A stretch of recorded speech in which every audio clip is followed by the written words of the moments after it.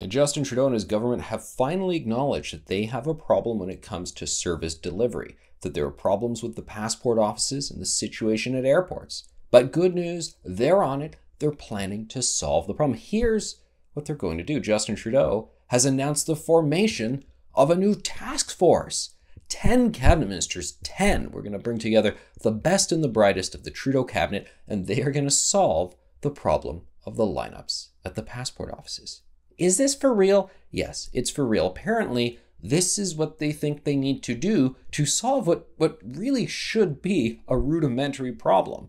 Are there not many thousands of people who work at these departments, who are senior managers, senior bureaucrats, and they have to deal with the basic nuts and bolts stuff to get it going, to get it functioning? And is this not a basic nuts and bolts thing? Why aren't you processing the passports sooner?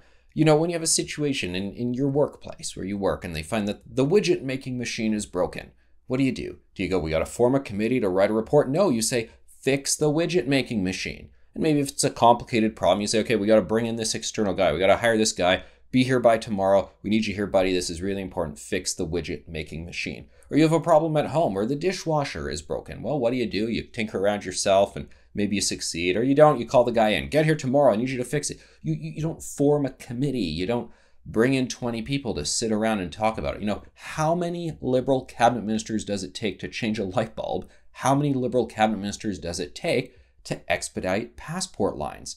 This is quite something that they're not looking at this as, yeah, we got a problem here, a sort of run of the mill logjam issue. Let's solve it. Let's just call people, say, get this done. I want this solved in 72 hours. Apparently, this is some sort of existential rethink of how government works, and they need to bring together an entire task force. Unbelievable. I think this is just only going to worsen things and slow down any solution.